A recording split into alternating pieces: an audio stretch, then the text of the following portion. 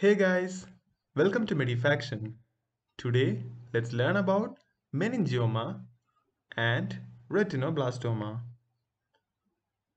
So, meningioma is a benign tumor arising from the meninges. The meninges consist of three layers the outermost dura mater, the middle arachnoid layer, and the innermost pia mater. The pia mater is associated with cerebral cortex. The meningioma is a tumor arising from the meningothelial cells of middle layer, that is the arachnoid layer. It is common in females.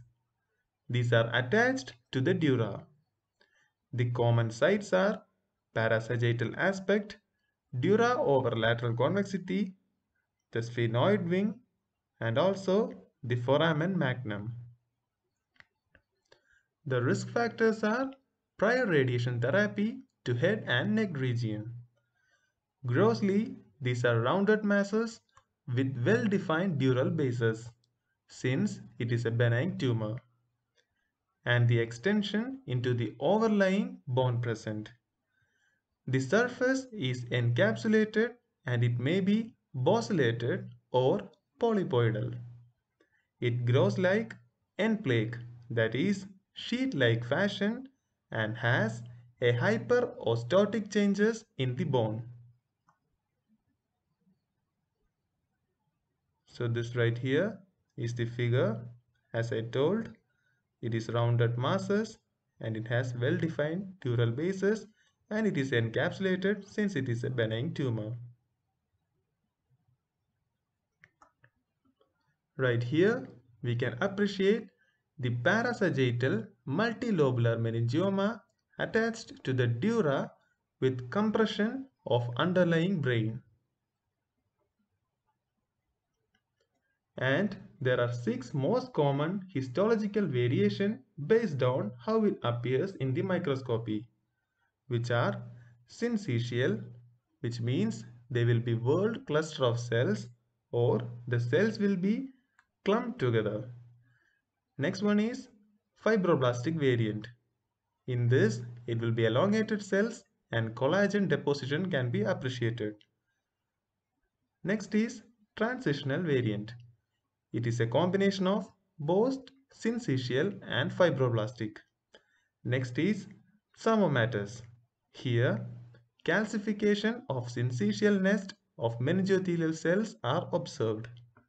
Next is secretory. In this, intracytoplasmic droplets can be seen. Next is microcystic. In this, loose spongy areas can be observed. So these are some of the histological slides. And this right here is a squash preparation of meningothelial meningioma showing the typical whorl formation.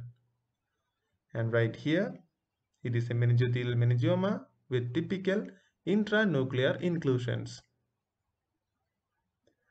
Right here is the fibrous meningioma characterized by parallel fascicles of fibroblastic cells.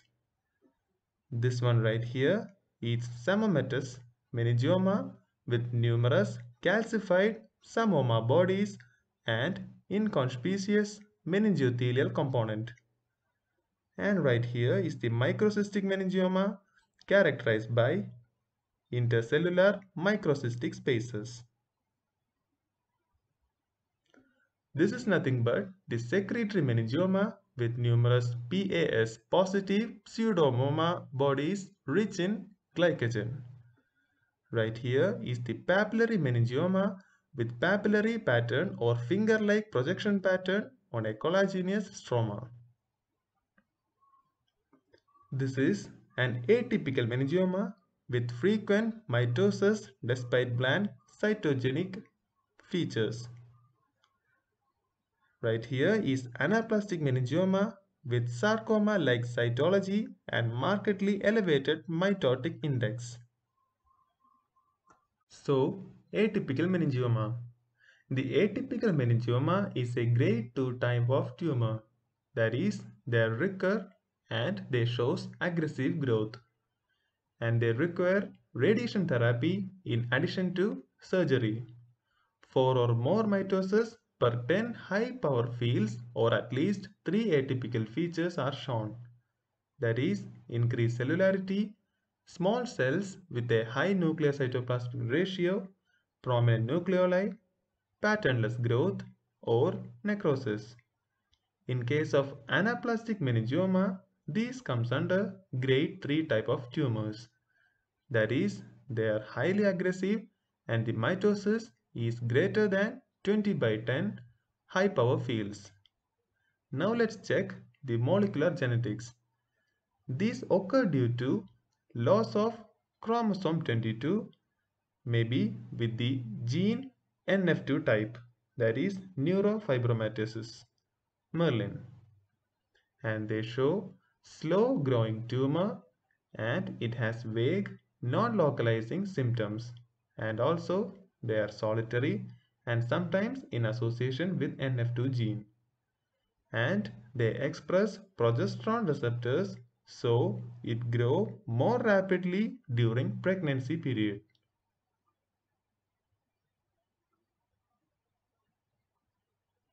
So this is nothing but the WHO grade and these are the tumors and the most common meningiomas comes under grade 1 and as we have told the atypical meningioma comes under grade 2 and the anaplastic meningioma comes under grade 3. Now let's move on to retinoblastoma.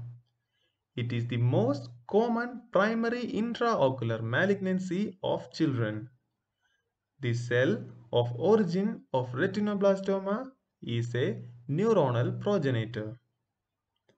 In approximately 40% of cases, retinoblastoma occurs in individuals who inherit a germline mutation of one RB allele.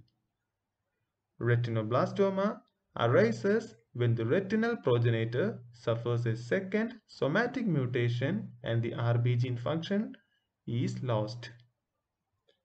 In the sporadic cases, both RB alleles are lost by somatic mutations. Trilateral retinoblastoma. These are retinoblastomas arising in the context of germline mutations and are often bilateral.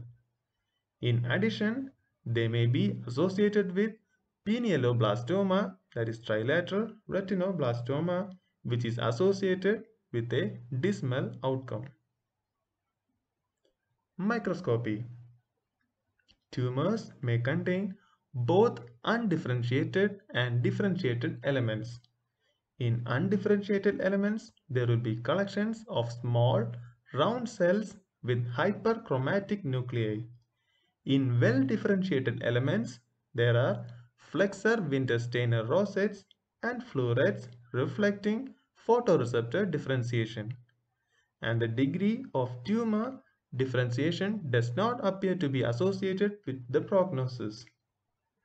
Focal zones of dystrophic calcifications are characteristic. So here this is an eyeball and we here we can appreciate the intraocular vitreous cavity with the tumor. And right here it is the microscopic view and small blue round cells and tumor cells are seen around the empty space. So this is an example of Flexner Wintersteiner rosette. Since rosettes are very important, let's learn about the four types of important rosettes. This one right here is the true ependymal rosettes. And here you can see the central lumen that is empty. This one here is the perivascular pseudo rosette. In this, the cell process radiates around the central vessel. And some of the examples of perivascular pseudo rosettes are ependymoma, central neurocytoma and also glioblastoma. And this is Flexner Wintersteiner rosette. And in this, we can appreciate the central lumen with short cytoplasmic process. The examples are the one we have just studied, the retinoblastoma and also medulloepithelioma. This one right here is the Homer Wright rosette. In this, the central lumen will be seen with neutrophil, like a fiber meshwork. Examples of Homer Wright rosette is neuroblastoma, medulloblastoma, and also pineoblastoma. Prognosis Retinoblastoma tends to spread to the brain and bone marrow and seldom disseminates to the lungs. Prognosis is adversely affected by extraocular extension and invasion along with optic nerve and by choroidal invasion. Hope you have understood the video. Like, subscribe and press the bell button for more videos. Thank you. Thanks for watching.